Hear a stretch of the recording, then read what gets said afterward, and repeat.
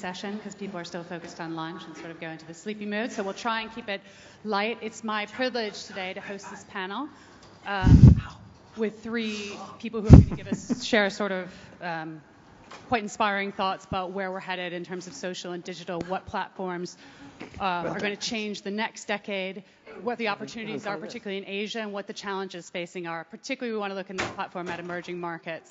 So let me just introduce our panelists. We have Esther Dyson, um, digital visionary from EDventure. Nathan Eagle, the co-founder and C- CEO of Jana, and Thomas Clayton, the chief executive officer of Bubbly.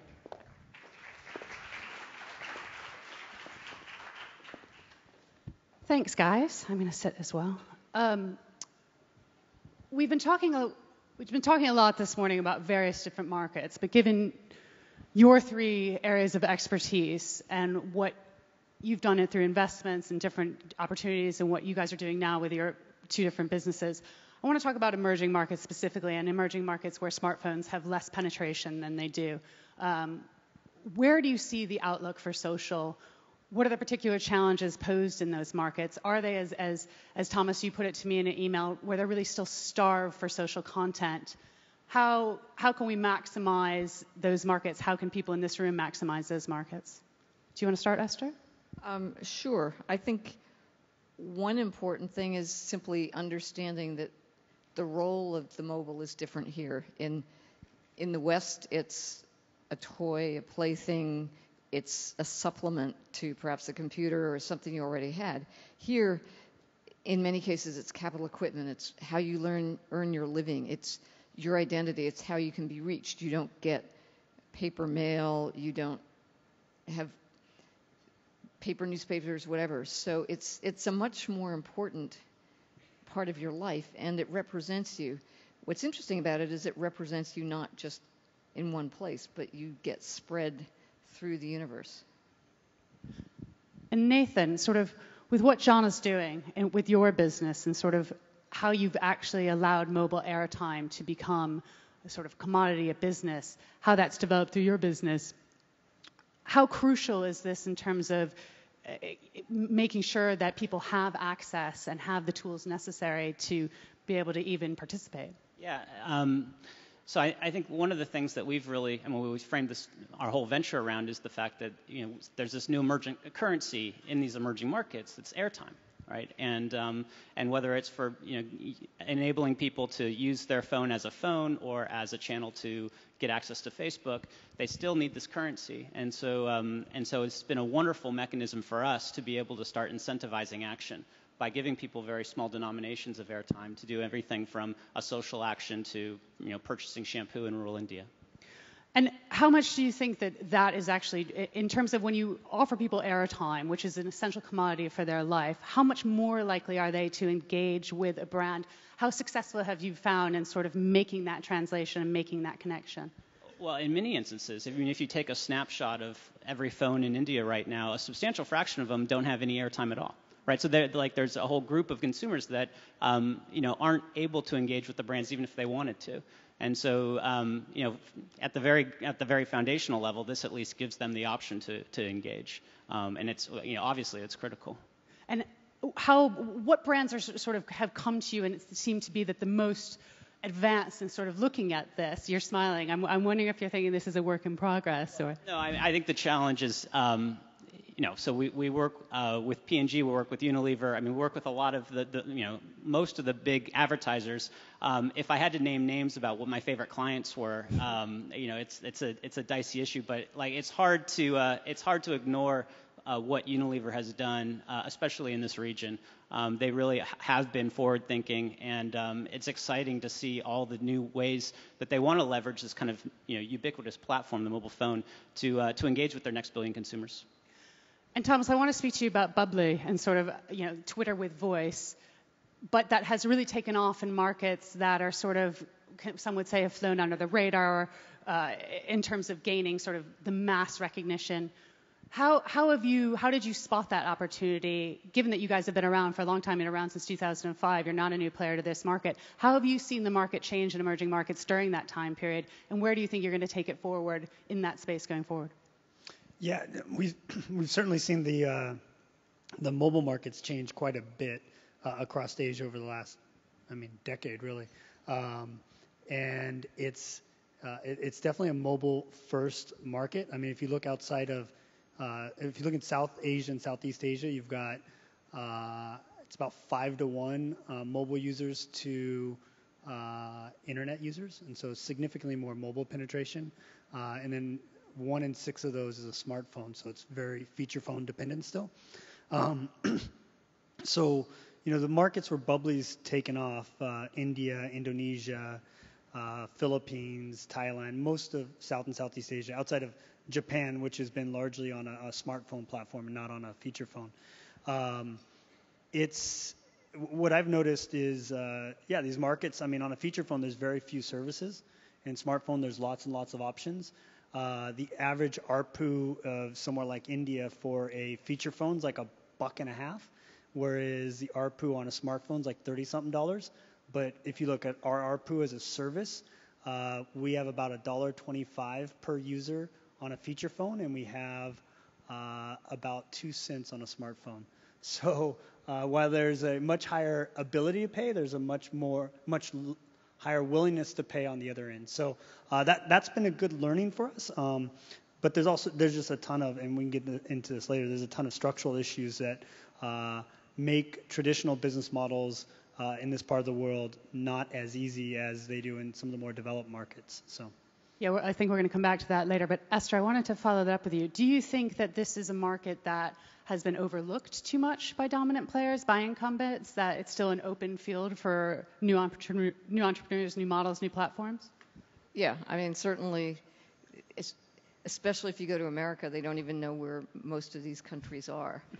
I, for me, I spend a lot of time in Africa, and I think one of the business models that does work is, is actually direct communication through SMS, for example. It's it's less of the the banner ads, the the apps, and more simply communicating with people directly, getting them to, you know, whatever it is, come into your store, make an action.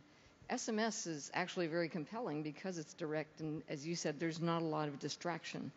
So, and I think Western brands may not understand that. They may mm-hmm. say we need you know, pink cats to sell stuff, but actually, a direct message to a consumer it can be really compelling.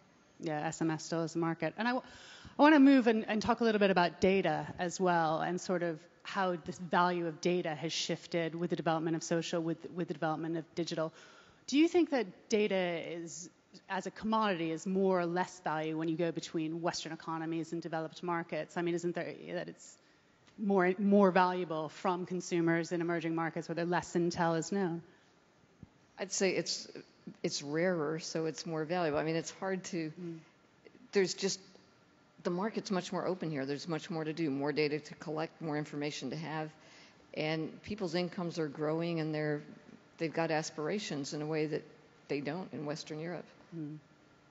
In terms of Nathan, in terms of your business, in terms of that being one of the most valuable things that you have collected. Oh, it is. No, it's it is the most valuable thing. I mean, we, um, you know, while some of our clients think of us as a market research company and others think of us as a promotions company, at the end of the day, we're a data company, and we're building the largest consumer database in the world. And, and we categorically don't do deals in North America or Western Europe, for that matter, uh, simply because, um, you know it's it, there, there's a lot of ways to engage to to get data about a rural woman from Kansas, um, and also to incentivize her. You can give people in Western markets coupons and various other things to get them to take some type of action that you'd want them to take.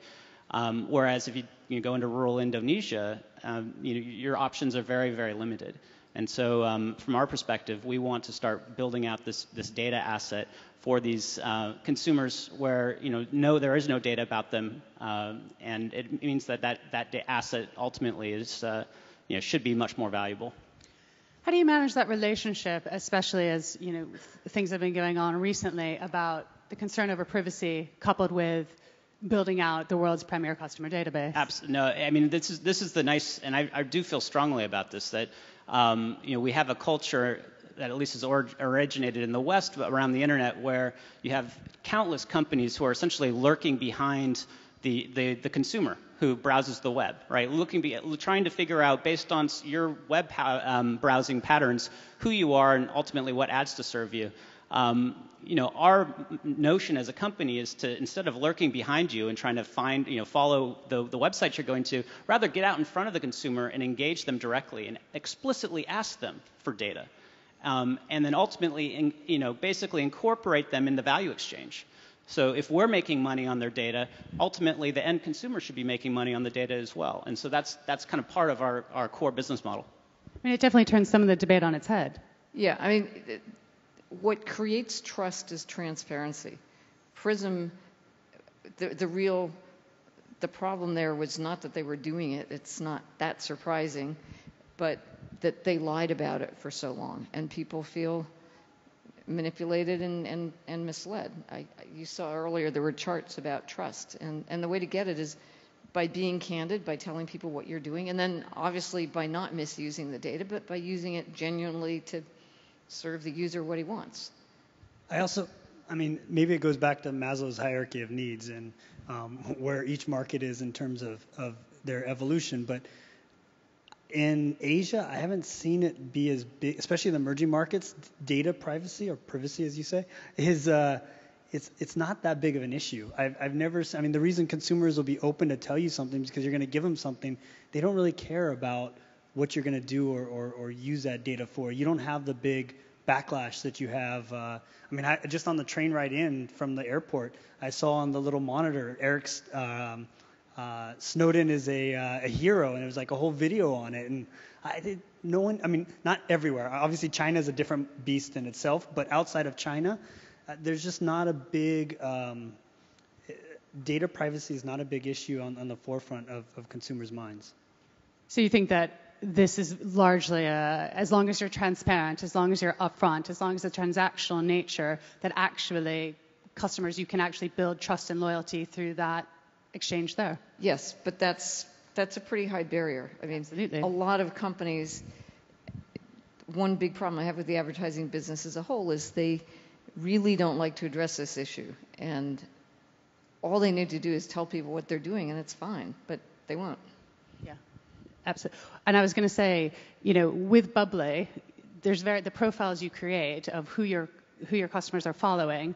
That's incredibly valuable information that you could be used by marketers, could be used by advertisers, is used. But your model is more front end in terms of getting revenues actually from users. Yeah. So users just pay us directly. Um, it's funny because so many investors I meet with are friends from the U.S. that come over and say, well, why don't you just do an ad revenue model? And um, then I, I go through some of the numbers for ad revenue, total digital ad spend in our markets. Like India is the largest.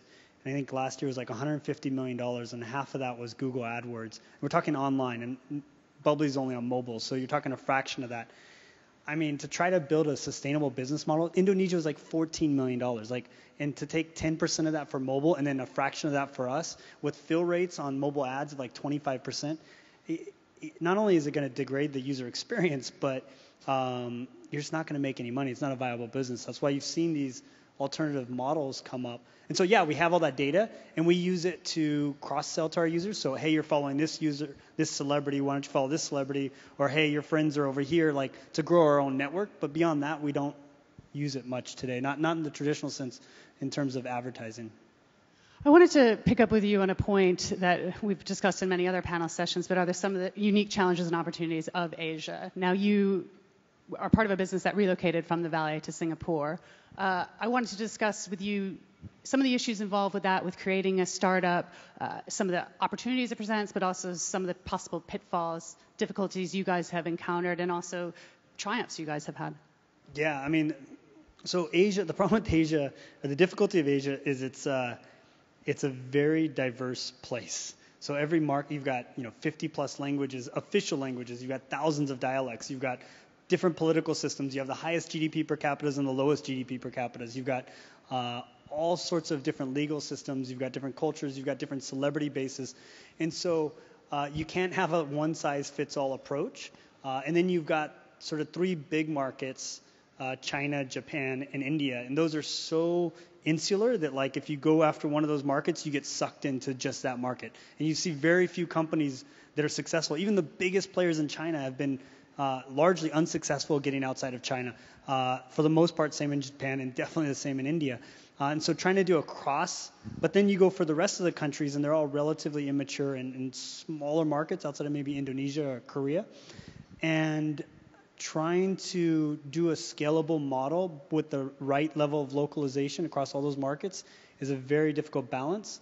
Uh, the other issue you have is you don't have smartphone penetration like you have in the rest of the world. So a lot of the growth we've seen from these companies that have grown up overnight has been largely been on smartphones. Uh, you know, to, in most of Southeast Asia and South Asia, where it's you know sub 20% smartphone penetration, you really have to pay attention to the feature phones, and that means working with the operators. And then if you want to bill consumers, there's no electronic billing or credit card penetration, so you got to work with the operators again. And operators, unfortunately, don't aren't the fastest moving organizations to work with. So um, it can, if you don't have the financial wherewithal, it can drain a startup pretty quickly. And Nathan, I mean, in comments I've read about you in the past and in building out Jana is that, you know, you're based in Boston, but yet the action is in Indonesia, the action is in Africa, the action is elsewhere. How have you managed that and sort of as the business grows? It's really, really hard. And, and actually, I mean, it's far harder than I, I thought it would be when we started this thing. Um, as, as, Tom said, it's, you know, this is, it's a very diverse place. I mean, the campaigns that we're, that we're running in the Philippines look radically different from the campaigns we're working, uh, doing in Pakistan right? The, um, you know, the thing that really resonates with a consumer in Vietnam, um, you know, most likely won't resonate with the Nigerian. And so what we're what we're really, I mean, I, I guess the the one the thing that we have discovered though is that there is at least one universality um, of our species you know, across cultures, across continents. Everyone likes free money right? So, um, so we have this carrot that is kind of universally applicable, um, but the way we apply it is, is very different across all these markets um, and by necessity. And in our markets, they like it even more. and what do you see as sort of any of the unique challenges that separate emerging markets in Asia and, and Africa, et cetera? Um, it's actually not that different in the sense that people are different. Even in the US or even in Europe, there's all these different languages. You just need to remember Asia is not a place, Asia is a collection of different cultures, different technology sets, and, and also different potential partners. The, the big players that you might want to cooperate with in China, it's a completely different set in India, in Africa, even more so. It's, it's even less built out. Uh, but it's you know that's what makes it that's what makes it fun. And in many ways, there's less competition. So, as as you said on the feature phones, you don't have all these other guys drowning out your message. We touched on this earlier, but I wanted to come back to how difficult it is to monetize social. Um, you know, the model that you guys have adopted, the, the different you know, your business as a, is a very holistic has a very holistic model and looking at very different sources of revenue streams. How how difficult do you think that challenge still is with mobile advertising in particular being still so undeveloped? So so mobile advertising is a model that is maturing. It's maturing fast in the region. Uh, but outside of guys like Line who are selling uh, you know, uh, registered accounts for the big brands. Uh, there's not a lot of large spend happening in mobile. It's mostly mostly small in most of the markets.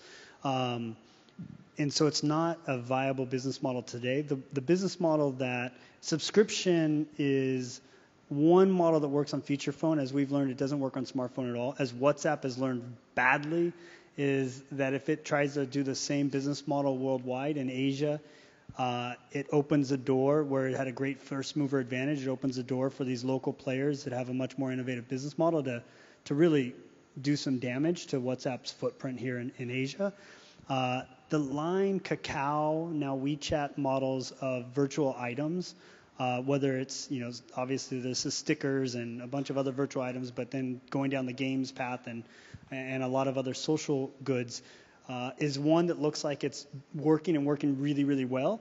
Uh, but it's largely in markets where consumers can pay for it. So Uh, they've got great user bases in Southeast Asia, and it's a, it's a nuclear war of all three of those guys. You go into Jakarta, you can't find a building that doesn't have Kakao or Line or something on the side of it, uh, and they're spending a lot of money advertising in, in all of those markets right now. Um, but if you look at the actual revenue and look at App Annie data, uh, the revenue is very disproportionate in those markets versus their home markets, uh, Korea and Japan, namely, uh, where you have the ability to pay. You're on a smartphone, you have the ability to pay.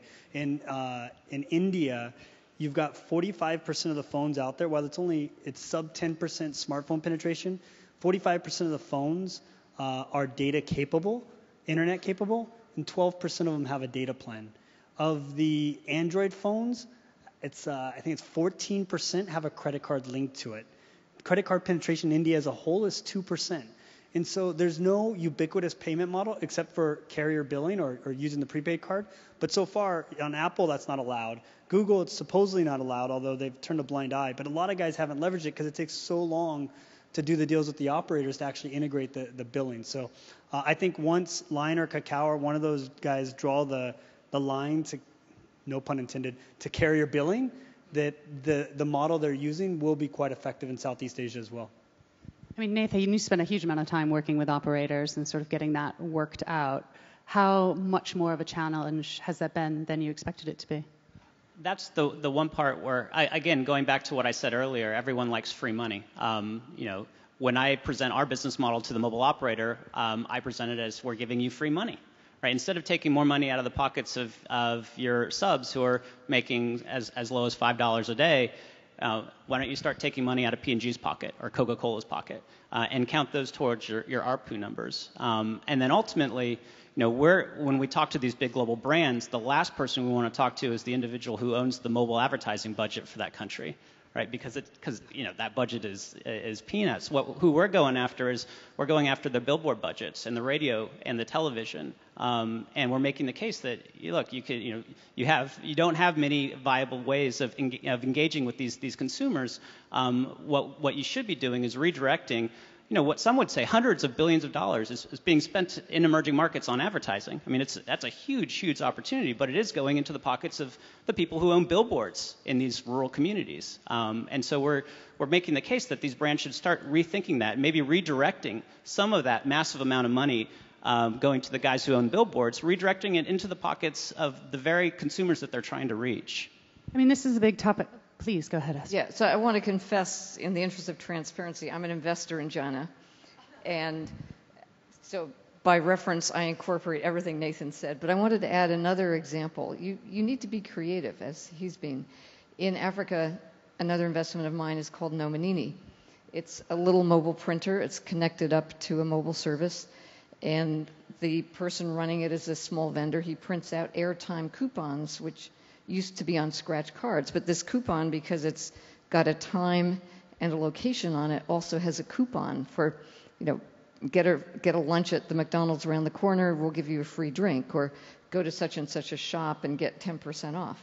So it's another way of engaging effectively with consumers that you know, wouldn't, wouldn't work in Kansas, but it's it's really great in some emerging markets.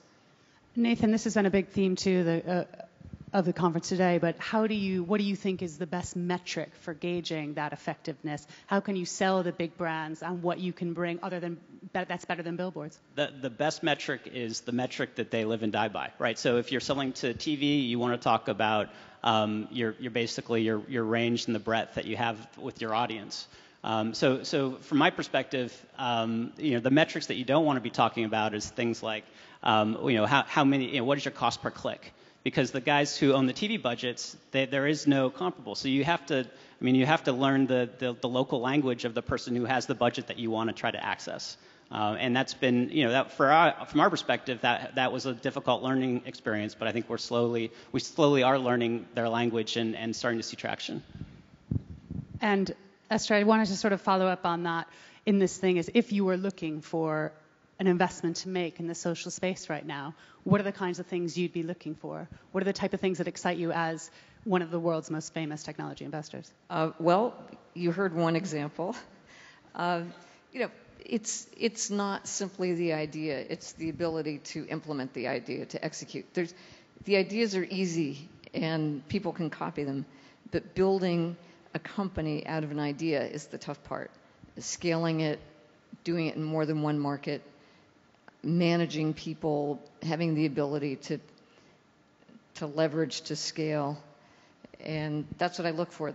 It's you look for track record. You talk to the person.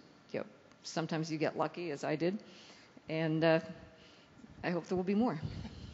And Thomas, you're as a veteran. You've been in and out of startups for many years now. What would you look for? What do you see as the next big market that outside your own company you find interesting or you find some people are doing creative, innovative things? Yeah, there's a lot of. It's interesting. Um, the markets, in terms of startups, have matured a lot over the last just five years. I mean, Singapore itself has become a, a little Silicon Valley. We've had just last week we had four exits. One, uh, you know, one as large as 200 million dollars. So um, it's starting to heat up quite significantly. Um, I think everyone's always known about Japan, which has been largely stagnant, but a, a large market nonetheless. Uh, China has all the hype, and it's a massive market, and it's got lots of investors and quite mature. Uh, and then India uh, has done quite well up until late with the, the appreciation of the, the rupee, uh, depreciation of the rupee hurting it. Uh, but then there's a ton of Southeast Asian markets. Obviously, the social impact in uh, of services in Indonesia has caught in everyone's eye, you know, where they stack in Facebook rankings and, Twitter rankings and so forth. Uh, Indonesia is a great market. It's, it's a large market. Uh, there's a fair amount of startup activity. Most of the startup activity in Southeast Asia uh, is a little bit spread across Bangkok, uh, Jakarta, uh, Saigon. I mean, I've been at startup conferences and all of them. They all look identical. There's probably a few hundred startups in each of them uh, probably a dozen or so institutional investors, uh, probably a couple hundred million dollars at work being put to work every year uh, across those investors. And so you got a lot of seed stage guys. Just like everywhere else, you've got a Series A, Series B uh, fall off uh, because there's not a lot of guys writing those size checks. Uh, but then also makes a healthier ecosystem. I mean, it's funny because in Asia, all the startups have always been really scrappy and really lean. Um, but no one in Asia ever wrote a book about it. So, uh, you know, this lean startup phenomenon that's so popular in Asia has been the way people have started businesses forever here. It's always been get to profitability as fast as possible, build it with as little resources. You've got scrappy entrepreneurs that don't want to give up any equity. And so uh, the DNA is there. Uh, capital is coming. Um, you know, personally, I'm very bullish on. I'm on six boards in, in Singapore, and I all of them look like they're going to be nice winners. I mean, they're they're not on the scale of Silicon Valley. None's going to have a billion dollar plus exit, but there there's several of them will be you know multi hundred million dollar exits, and so uh, it's it's heating up because Singapore is such a um, business friendly environment. I mean, you look at our company, we have 55 people in Singapore. One is from Singapore, and so we've got 20 different countries represented just in our company. Um, it's a very diverse place. It attracts a lot of talent from all over the world. Obviously, the lifestyle and the, the tax rates help. Um, and you get, uh, when you put all that diversity together, you get some pretty good ideas and some pretty good companies out of it. Great. Well, I want to close. Unfortunately, our time is, is running out again. But uh, I wanted to close by getting your thoughts on what you think social will drive in terms of change. It's it's a, it's a big question, it's an important question. But what you, what are the big what is the big political, economic, social changes social has the possibility, social media has the possibility to drive through over the next five to ten years? I'll start with you. Uh, what I said at the beginning, a, a sense of identity that fundamentally changes the balance of power between the individual and institutions, whether it's big advertisers, big government. Uh, people, people expect to be listened to, and if they're not listened to, they will talk about you. Um, I, I, would go uh, reference the problem that, that Tom alluded to about the fact that you have hundreds of millions of people in India alone that have uh, handsets that are capable of accessing the web and they're choosing not to. And I would postulate that they're choosing not to because there isn't relevant content. Uh, and so what social is, is, is content, and it's con- content that's inherently personal, inherently relevant, and ultimately will start, will be the driving factor for getting these, these next group of people um, online. Yeah, and I think from a development standpoint, from a GDP growth standpoint, uh, just think of the efficiency once all those people are connected. I mean, uh, I remember way back when when I thought LinkedIn was a nice way to k- take uh, my contacts and put them all in one place and look at them. But now, who doesn't look at LinkedIn to see who you're connected through, who you know in what organization? If you're applying for a job, there's like 20 different routes in. If you're trying to sell something, I mean, there's there's so many efficiencies gained by that that social sort of connection element that once this part of the world, I mean, I don't know how many times someone meets me and says, I, I want to, I really am trying to get into this company. I need to know someone. But if they were all connected on LinkedIn, then it would be much easier, much more efficient, right? It wouldn't be, I just happened to sit next to this guy in a lounge somewhere. Um, and so I think the, the efficiencies gained on those guys coming online and being connected through social networks, both personal and professional, is, is going to be phenomenal. Thanks so much. Thanks, guys, for a great panel. Thanks. Thank you.